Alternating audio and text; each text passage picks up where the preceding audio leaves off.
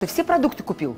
Да? Кстати, а в очередях много времени провел? Да, уж ближе к выходным народ подтягивается за продуктами и в основном мужчины. Да, мои наблюдения также подтверждают этот факт.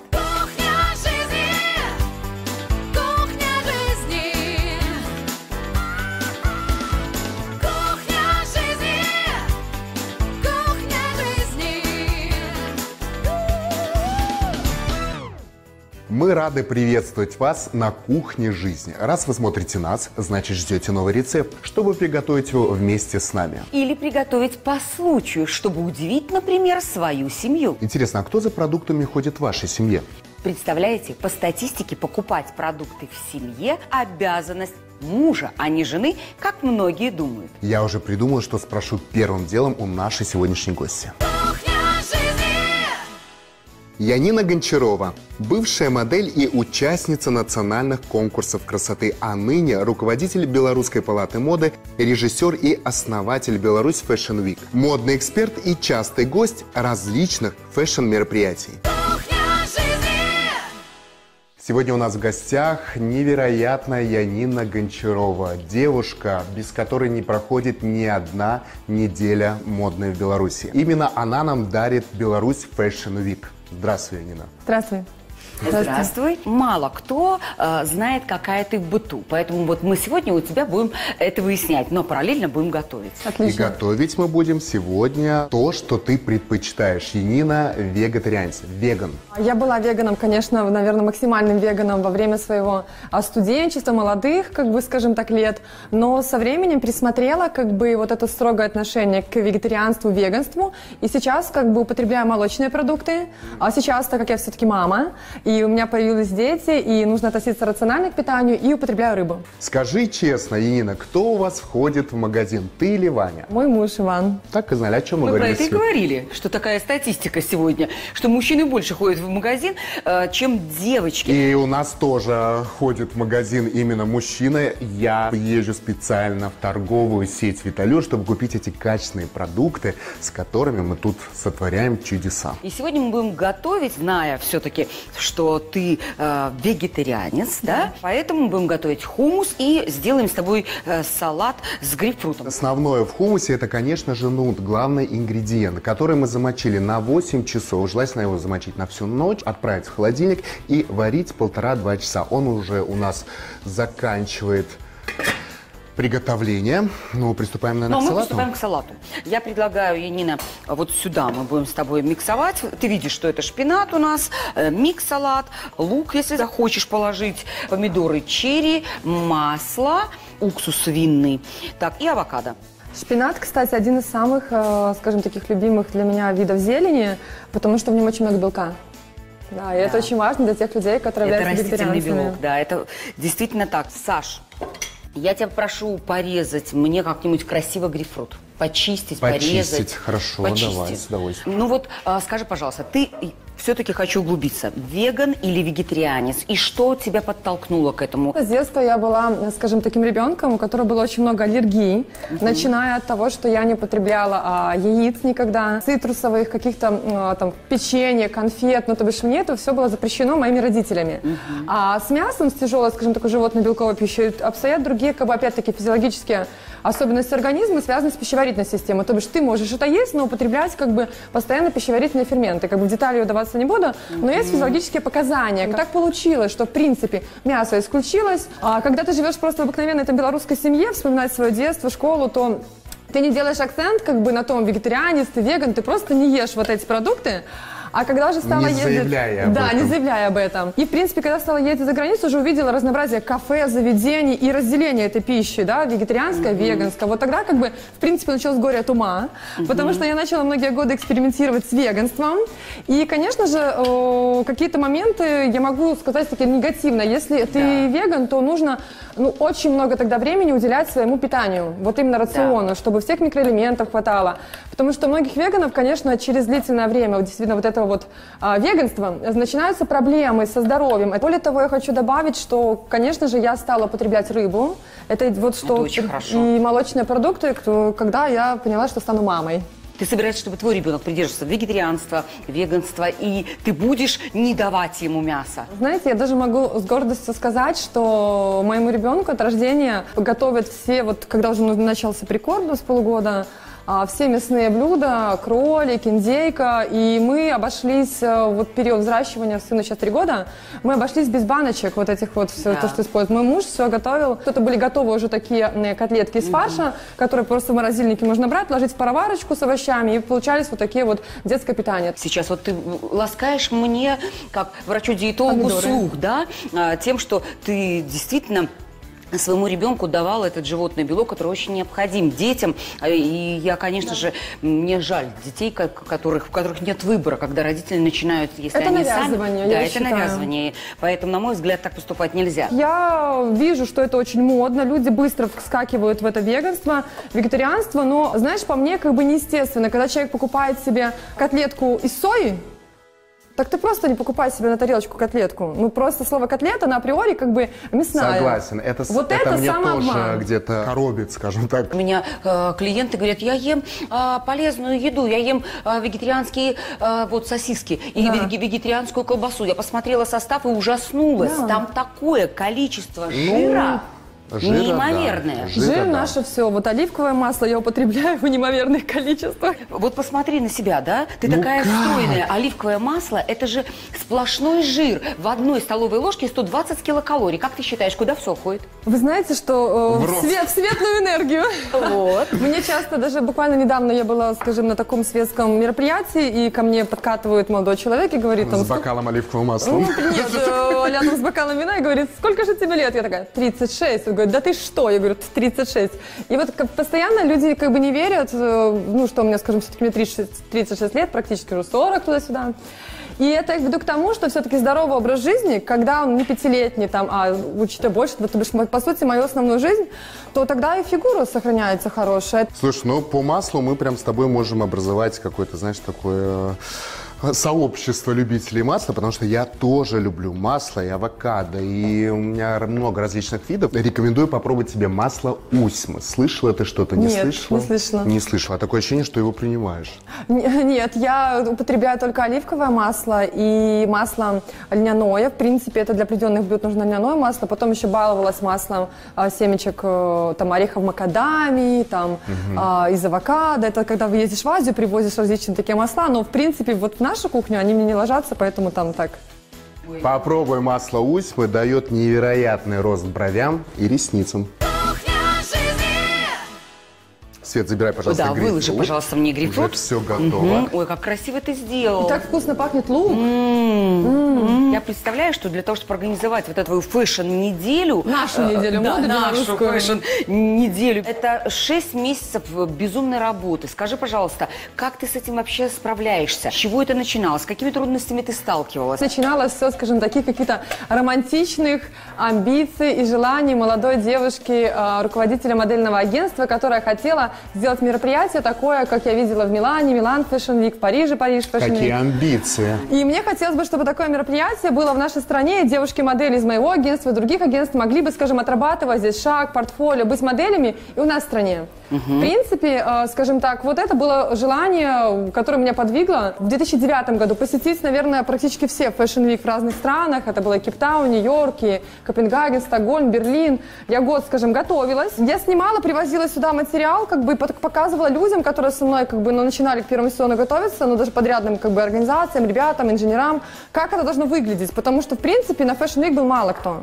И дальше уже втянула, стал делать, делать, делать, делать, и вот так пролетело 10 лет. В этом сезоне... Казалось бы, это было вчера, я помню. 20 раз мы сделали Беларусь Fashion Week, как кто-то недавно сказал. Я на Fashion Week всегда помню неизменных. Я Нину Гончарову, Сашу Киренюка. И вот этих, вот этих, вот этих людей, ну, это гости. В принципе, в неделе моды появились свои люди, свои гости, свои, как бы, а, лица. Своя атмосфера, Своя свои атмосфера. правила, свои герои. В хумусе еще важный э, момент – это приготовление соуса. Собственно, с него все и начинается. Друзья, я забросил все ингредиенты, нужно взбить. Ты же так делаешь, правильно тоже? Да. Ты как девушка-руководитель, понятно, да еще и молодая мама, э, ночами не спишь. Наверное, когда готовишь все эти проекты, то забываешь вообще поесть, пропускаешь это все. Худею на глазах за неделю. Вот. Все, кто хотят похудеть. Я, И это же, похудение. вот, и это же все, вот мне кажется, сразу влияет на волосы, на, Да, на красоту да. кожи, правда? Да, да. А вот предлагаю тогда как раз-таки и пробежаться по тем продуктам, которые помогут нам выглядеть на все сто.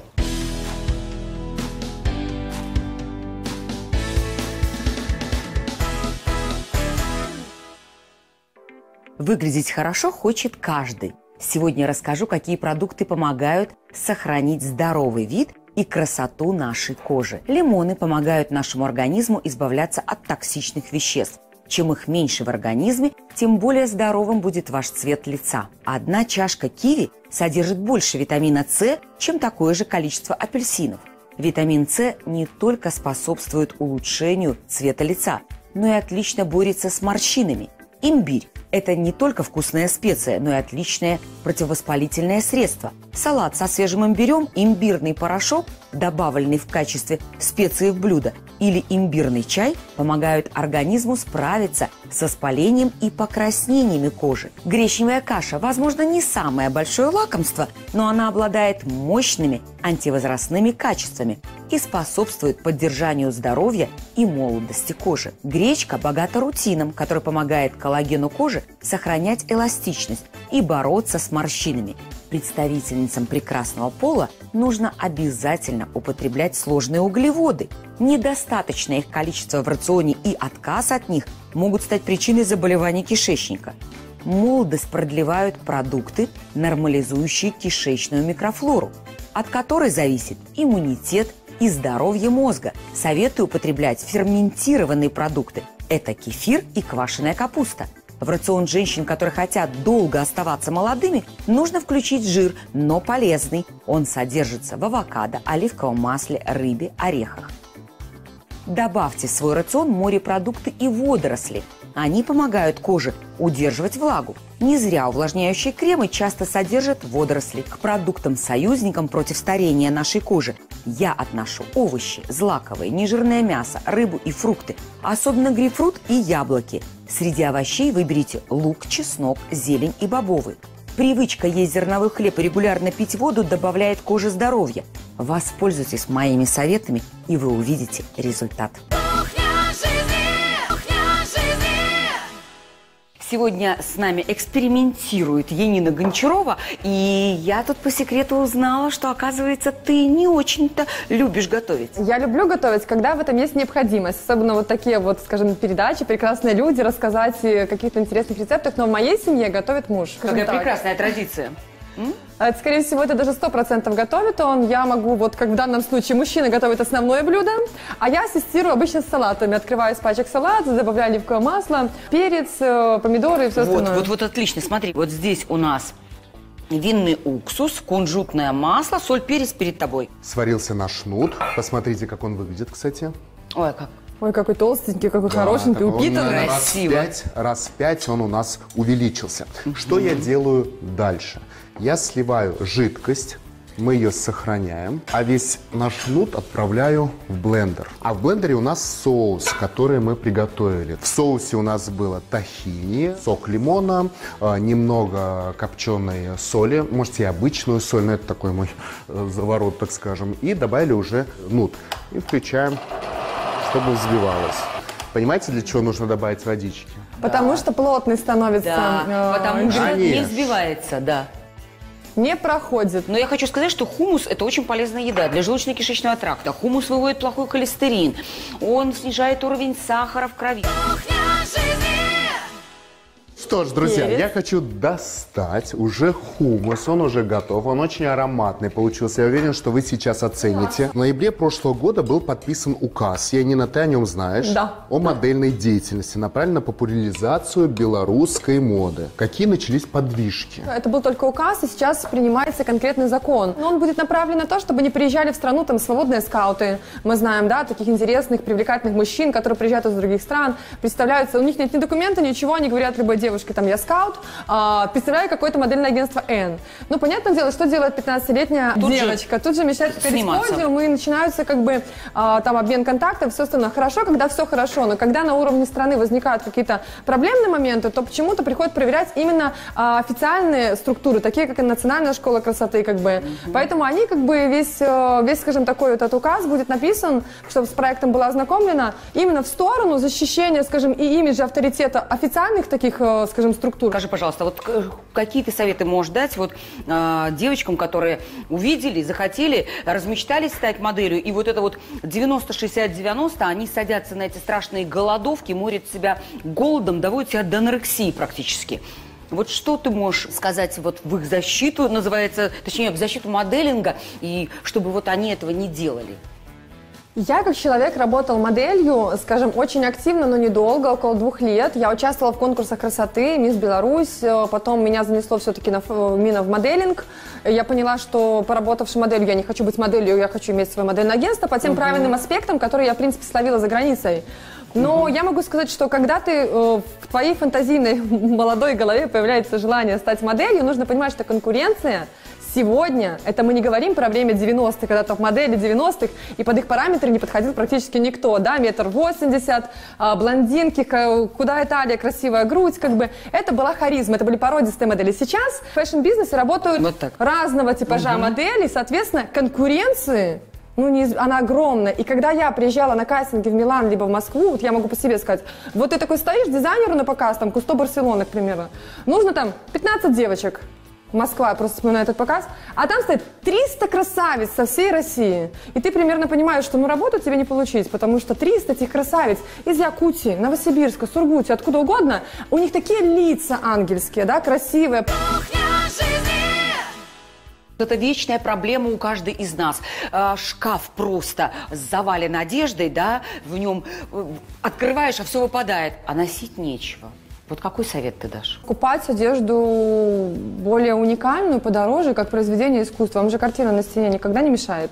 Она у вас висит, и годами, какой бы вы там интерьер в ремонт в доме не делали, как бы, она у вас Вне висит. времени, вне да? То времени. есть то, что вне В принципе, времени. как бы вещи хороших брендов, любой женщине просто иметь больше вещей базового гардероба. Черные брюки, белую рубашку, наверное, синий или какой-то там интерес в клетку, пиджак свободного кроя, байку, а под черные же эти брюки все пойдет.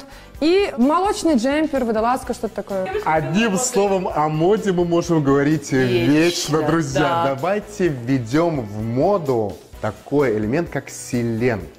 Не знаю, слышали вы что-то или нет. Именно о нем мы сейчас с вами и поговорим.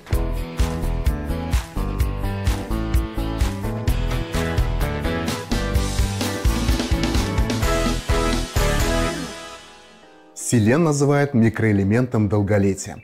Он необходим для правильного функционирования иммунной системы и играет важную роль в поддержании обмена веществ и является антиоксидантом. Селен играет большую роль в поддержании щитовидной железы и у некоторых показателей гормонов улучшается всего лишь при приеме этого микроэлемента. Поэтому сдавайте регулярно анализы для того, чтобы узнать уровень ваших гормонов. Селеном намного лучше становятся волосы и ногти. Волосы приобретают блеск, селен стимулирует производство белков эластина и коллагена, улучшая эластичность и прочность кожи, делая ее при этом моложе. Кстати, именно за счет этого улучшается заживление ран и ожогов. Селен активно борется с псориазом, дерматитом и сибареей. Но в нашем регионе селена практически не содержится в почве, поэтому мы его можем получить в нужном количестве с растительной и животной пищи. Соответственно, у нас наблюдается огромный дефицит этого важного микроэлемента. Рекомендуем сдавать анализы крови и обязательно проверять уровень селена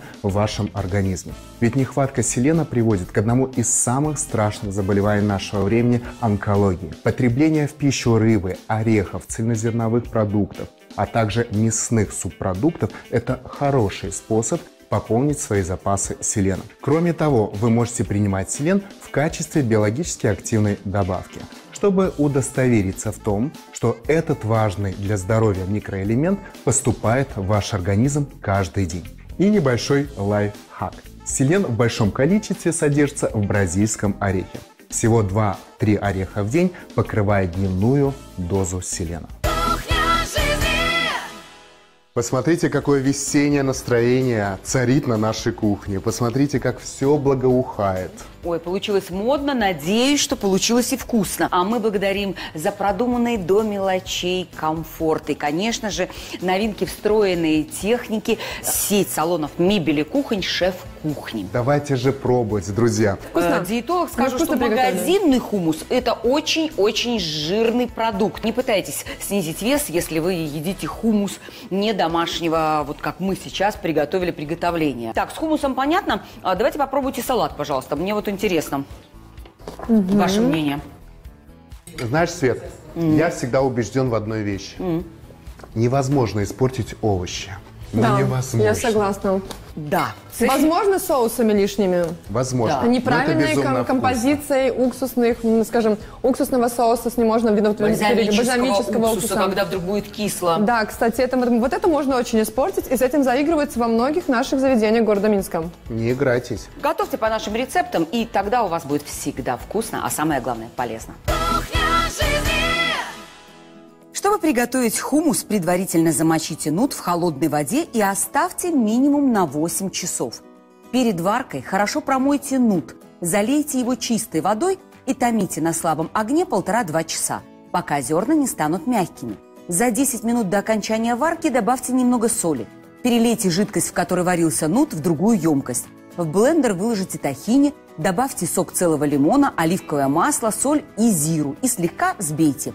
Затем по частям добавляйте нут и взбивайте блендером до однородной консистенции. В процессе добавьте немного жидкости, в которой варился нут, подсолите по вкусу. Для салата нарезаем лук, помидоры черри, добавляем шпинат и крест-салат, авокадо и грейпфрут. Авокадо сбрызгиваем соком половины лайма. Для заправки кунжутное масло и винный уксус взбиваем в небольшой миске, добавляем щепотку соли и черный перец по вкусу. Авокадо, крест-салат, а также помидоры, шпинат и грейпфрут поливаем заправкой, смешиваем и оставляем настояться около 20 минут.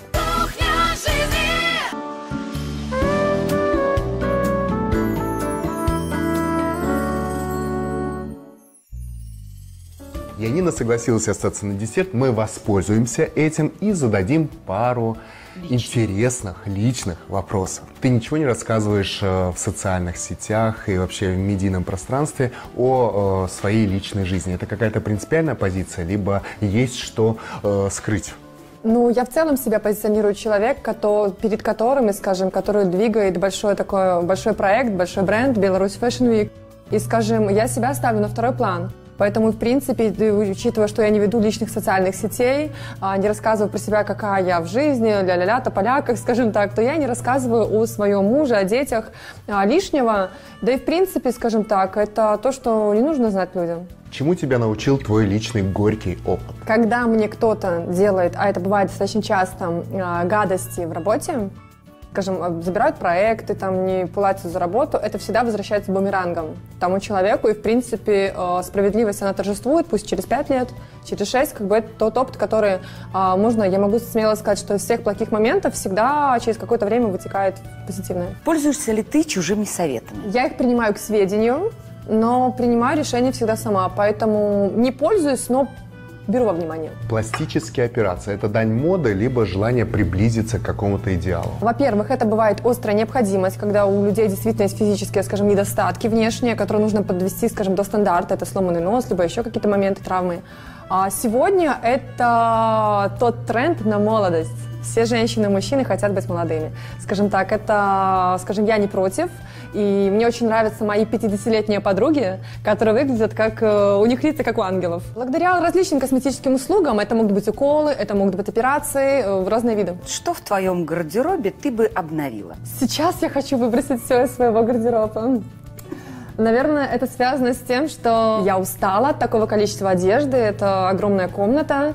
И я понимаю, что как бы все, что я люблю, это примерно х- ходить э, в одном и том же свитере в катушку, База. как многие люди, База, известные, да? и влиятельные в своей сфере.